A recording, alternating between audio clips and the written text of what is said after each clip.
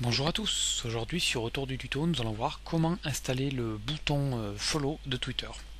Alors ici on va se retrouver sur le site des ressources de Twitter, donc là l'adresse sera indiquée sous la vidéo comme d'habitude, et on va nous demander le nom d'utilisateur. Donc ici moi en l'occurrence je vais mettre mon nom d'utilisateur autour du tuto, normal.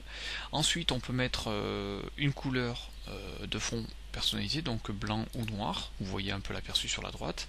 Bon là je vais le laisser en blanc. Euh, on peut montrer aussi le nombre d'abonnés. Donc là, boum, on voit que le nombre d'abonnés s'est mis juste derrière. Et enfin le nom de la langue, l'option de la langue, pardon. Ici ça va transformer le bouton follow en suivre. Donc là on bascule en français. Voilà. Ensuite, on nous propose le code. Donc là, on sélectionne tout le code, on fait un CTRL C ou euh, un clic droit copier. On va sur notre sur le panneau d'administration WordPress euh, du blog. Et là, par exemple, on va l'ajouter dans un widget. Donc ici, euh, on va mettre un widget texte. Voilà, j'ai glissé un petit widget, texte. Je fais un CTRL V pour euh, coller le, le, petit bout de code qu'on m'a proposé. Je clique sur enregistrer. Voilà. Donc là, tac, je jette ça parce que tout à l'heure je l'ai testé. Donc ici on va mettre euh, suivez-moi par exemple.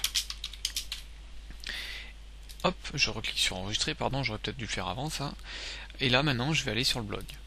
Donc là, sur la droite, on va retrouver euh, le petit encart, voilà. Donc suivez-moi, suivre autour du tuto, ce qui fait que les gens maintenant quand ils, euh, cliqueront là-dessus, ben, ils vont euh, automatiquement suivre autour du tuto. Un petit truc bien sympa, là autant je vais le mettre au-dessus, plutôt ça sera, ça sera mieux. Voilà, à bientôt sur autour du tuto.